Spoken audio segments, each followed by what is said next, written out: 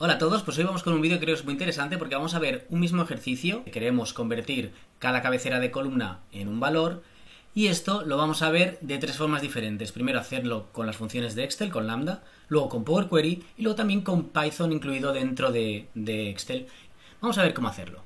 Ok, pues aquí tengo una, una tabla en la cual pues tengo nombre, ciudad y luego N1, N2, N3, puede ser cualquier cosa, pero básicamente yo lo que quiero es coger estos valores de esas tres columnas, N1, N2 y N3, y transformarlos para acabar teniendo un resultado de este tipo, donde tengo pues el, el, el nombre, la ciudad, y aquí se va a repetir pues en la cabecera de la primera columna con los valores de la primera columna, posteriormente cabecera de segunda columna con valores de la segunda columna y lo mismo pues con la tercera columna. Vale. Este es el objetivo que tenemos. Entonces, primero vamos a ver la opción de Excel. A partir de una función que vamos a crear que tiene dos parámetros. El parámetro de las columnas fijas y el parámetro de las columnas que se tienen que transformar.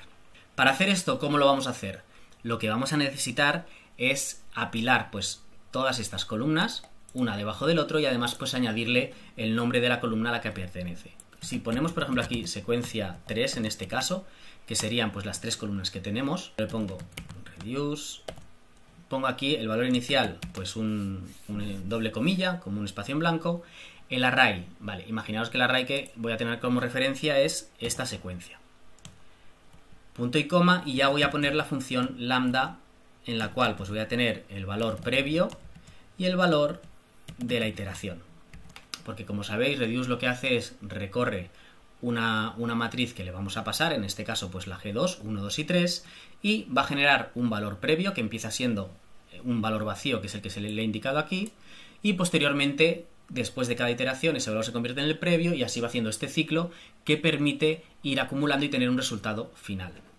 Vale, vamos a hacer una versión muy sencilla en el cual yo quiero que cada vez me vaya concatenando pues el nuevo valor.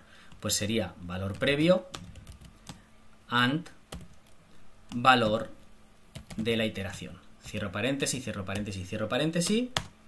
¿Y qué me da? 1, 2 y 3. Me ha pasado por los 3, ha empezado con el valor vacío, luego le ha puesto el 1, luego el 2, el 3 y el resultado final es 1, 2 y 3. Vale, esto queda claro cuando utilizamos valores, pues va acumulando ese valor, puede ser un número, puede ser un texto que podemos trabajar con él, pero también nos permite ir generando un resultado de un rango como salida. Si yo aquí, por ejemplo, utilizo la función apilar de forma vertical, en este caso, para que me ponga uno, uno debajo de otro.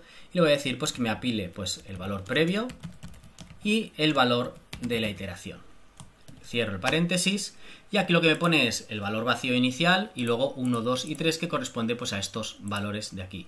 Fijaros que si yo aquí aumento y pongo 5, me extiende también los 5 que corresponden porque precisamente está iterando toda esta matriz.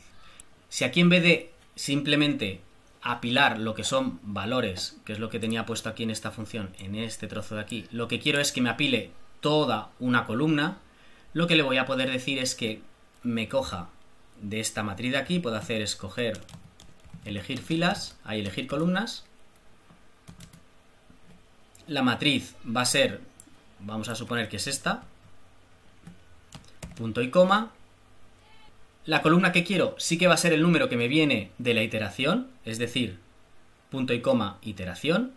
Y aquí cierro el paréntesis. Ahora el resultado que tengo es que me está apilando la primera columna con la segunda columna, la tercera columna. Si aquí tenemos la primera columna que empieza con el N1, si seguimos para abajo veremos que empieza el N2, es decir, ya me ha hecho este apilamiento. Otra cosa que vamos a aplicar es la propagación de un valor fijo utilizando la función si aplicado a una secuencia. ¿Qué quiero decir con esto? Lo que queremos es repetir un valor muchas veces pues para añadir aquí que ponga N1, N1, N1 en vez de que salga con una cabecera, luego en N2 pues la parte del N2 lo que le toque.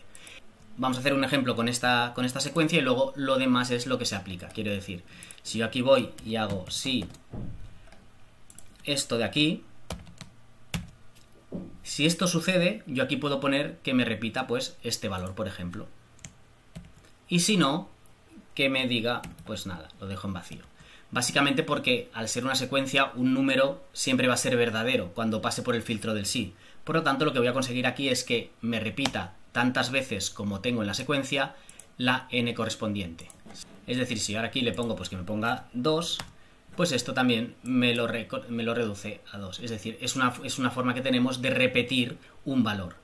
Es más, si yo en vez de hacerlo con la secuencia que tengo aquí puesta, lo que voy a hacer es que esto me lo repita tantas veces como valores tengo en cada columna, lo que puedo hacer es secuencia, filas, abro paréntesis, las filas que correspondan pues a la primera columna, cierro paréntesis y cierro paréntesis,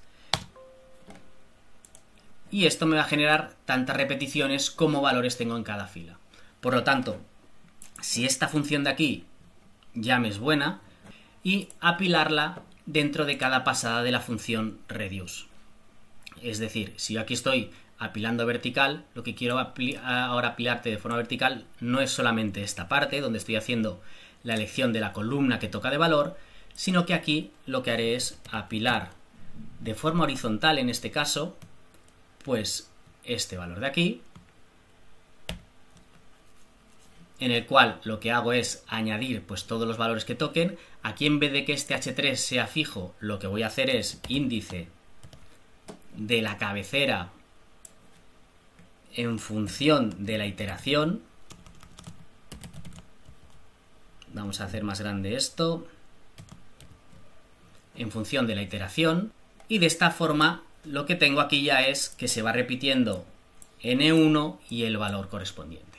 Vale, sabiendo esto, vamos a ver la fórmula. Ya la tengo preparada la fórmula para que no se me hiciese el vídeo muy largo, pero está basado en la lógica que acabamos de ver. Es decir, si nos vamos aquí a la pestaña lambda donde tengo esta función, vamos a verla con el, con el, con el Excel Labs que nos permite verla de una forma muy sencilla. Aquí lo que tendremos es este detalle que hemos visto. Es decir, aquí y lo que hacemos aquí es, aplicando la misma lógica que, acabamos de ver, pues vamos generando para cada columna una matriz en la cual tenemos pues los valores fijos, luego tenemos la parte de repetición del nombre de columna y luego ya finalmente tenemos la parte de elegir los valores para que nos los añada. Y esto lo vamos apilando de forma vertical. Bueno, Llegado a este punto, siempre que sé, que es un poco más complejo, si queréis el, fichero, pues estará disponible en el, grupo de WhatsApp, como hacemos, como hacemos siempre. Lo podéis solicitar por allí y allí se comparte. Y repasando la función, lo que tenemos que es, pues que tenemos la función lambda, como hemos dicho, la parte fija y la parte de columnas, que es la parte que se va a trabajar. Y lo que hacemos al principio es desglosar estas dos matrices que han, que han venido como inicio en las matrices que nos van a ser útiles a la hora de poderlas trabajar de una forma más sencilla en el resto de la función. Empezamos detectando el número de columnas que hay y eso lo hacemos con el número de columnas que queremos transponer, aplicando secuencia columnas, lo que antes poníamos un 3 fijo, pues aquí lo hacemos que sea variable en función de lo que queramos eh, transponer. Luego buscamos la variable de la parte fija a la cabecera y de la parte fija los valores, simplemente aplicando tomar y, excluir la primera fila para que nos queden dos valores diferentes. A partir de este momento lo que son las cabeceras lo tenemos aquí y lo que son los valores lo tenemos aquí. Y lo mismo hacemos con la parte de columnas, la parte que queremos transformar. Y aquí es donde haríamos esta función que es la aplicación línea a línea de lo que estamos aplicando en la lógica que hemos visto en la primera parte del vídeo. Finalmente lo que hacemos es añadimos las cabeceras al resultado que teníamos, porque el resultado que teníamos era simplemente la, la apilación del resultado, y lo aplicamos. El resultado es que ya tenemos nuestra función. Recordar que una vez tenemos la función lambda, yo lo que puedo hacer es copiarla, excluyendo la parte de los datos finales, que estoy utilizando pues, para ejecutar ahora en la celda, y me puedo ir a fórmulas, nombres definidos, vamos a asignar un nombre y le ponemos pues le ponemos un nombre, pues un pivotar, por ejemplo. Vale, ¿qué es lo que vamos a aplicar? Le ponemos aquí, pegamos el valor de la función, aceptar, y ahora ya hemos creado nuestra función pivotar, que si yo se la aplico, voy a ponerme aquí para no borrar estas funciones por si alguien pide el, el fichero, entonces lo que vamos a poner aquí es, vale, función un pivotar, aquí ya la tengo, parte fija, pues tengo que coger la parte que quiero que sea fija. Aquí la tengo. Y parte que quiero que sea variable, la parte donde están las columnas. Cierro el paréntesis, le doy y ya me la ha generado directamente. Como veis, el resultado es perfecto en el sentido de que es literalmente lo que estábamos buscando. Y al final, tras el esfuerzo de hacer toda esta lógica que hemos desarrollado, lo podemos condensar todo, meter todo en una única función que podemos reaprovechar siempre que queramos. Vale, pues hasta aquí la parte de lambda. Vamos a ver cómo sería con Power Query. Vale, con Power Query tendríamos que conseguir el mismo resultado. Realmente, ahora cuando vayamos a comparar, de hecho voy a borrar aquí el resultado de Power Query. Eliminamos y nos vamos a la tabla.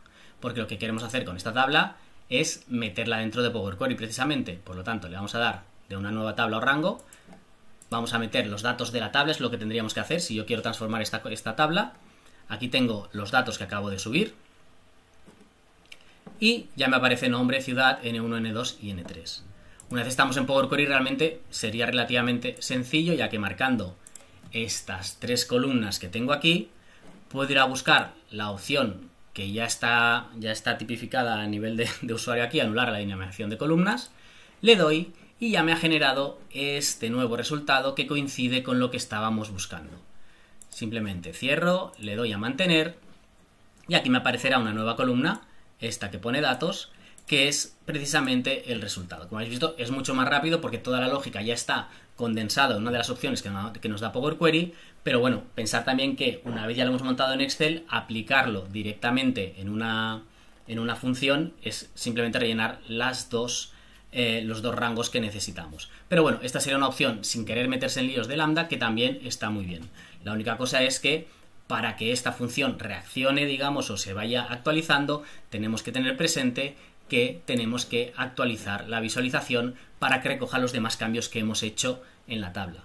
Otra, una cosa buena que tiene es que nos viene en formato tabla. Bueno, vale, la opción esta de Python es exclusiva de momento, creo que solo para los que están en el, en el canal Insider en el cual lo que vamos a poder hacer es aplicar dentro de una, celda un trozo de código de Python que nos, nos lea esta tabla y nos la trabaje.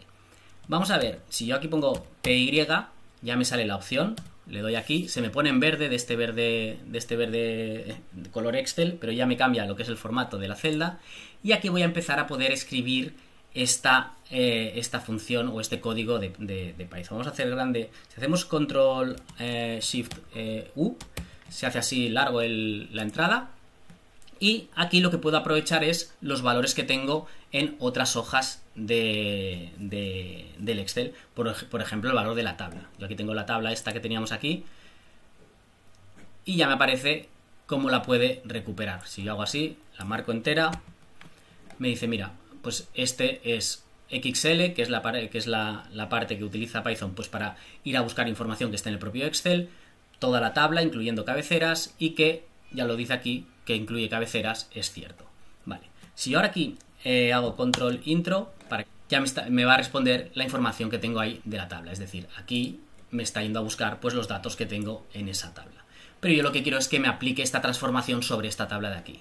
Y para eso tengo una opción. Dentro de, dentro de Python en Excel se precarga una serie de librerías. Librerías no dejan de ser más que un conjunto de funciones que están disponibles ya de inicio.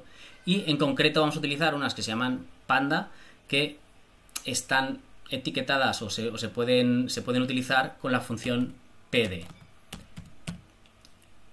Y dentro de PD pues hay un montón de, de funciones, de la cual la que a nosotros nos interesa es la función meld que meld vendría a ser precisamente lo que estamos haciendo ahora. Abro paréntesis, le digo sobre qué tabla quiero aplicar ese cambio y aquí ponemos coma pues para separar los parámetros que le queremos dar y lo primero que le tenemos que poner es los nombres de las columnas que sean la parte fija. Realmente la parte, esta parte se pone con id-bars igual, ya nos sale aquí precargado y le vamos a poner pues todos los campos que queremos o todas las cabeceras que queremos que queden como la parte fija. La lógica realmente se parece mucho a la que hemos trabajado en lambda.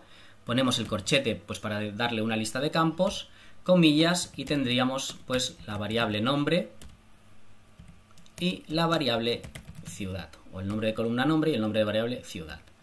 Cerramos el corchete y tenemos que añadirle qué columnas queremos que precisamente nos transforme. Y para eso que tenemos, pues tenemos el parámetro value bars, que lo tenemos aquí, es igual, y aquí vamos a ponerle pues también entre corchetes para decirle que es una lista. En la, en la, nomenclatura e incluso en la lógica se parece bastante al, al, código M de Power Query. Y lo que vamos a poner aquí es pues N1, N2, N3. Cerramos el corchete, cerramos el paréntesis y ahora vamos a ejecutar esta función. Vamos a hacer control intro, que es la forma de ejecutar el código de Python, y ya nos pone aquí un resultado. Si os fijáis aquí, nos lo ha devuelto como si fuese un objeto, es decir, no lo estamos viendo en las celdas, pero tenemos esta opción de decirle, oye, quiero ver el valor de Excel. Le doy a los valores de Excel y ahora el resultado que voy a tener es el que tenía exactamente igual que antes. Es decir, hemos conseguido tener la función lambda que nos ha dado este resultado, tenemos la función de Power Query en la cual hemos subido la tabla Power Query, hemos hecho la, anular la dinamización de columnas y hemos tenido este resultado en formato de tabla. Y aquí lo que hemos hecho es aplicar eh, este código de Python para que haga la misma función. Bueno, pues espero que os haya gustado. Hasta aquí el vídeo de hoy. Cosas que os tenéis que recordar. Bueno, dale al like si os ha gustado, suscribiros al canal. Si queréis el fichero, esto es importante porque hemos visto como muchas cosas de golpe eh, a través del grupo de WhatsApp podéis, eh, os conectáis y, ahí pues lo, compartimos. Eh, si queréis entrar al, grupo de WhatsApp tendréis el WhatsApp en la descripción del vídeo. Y nada, pues desearos unos buenos días que quedan de agosto, disfrutarlos.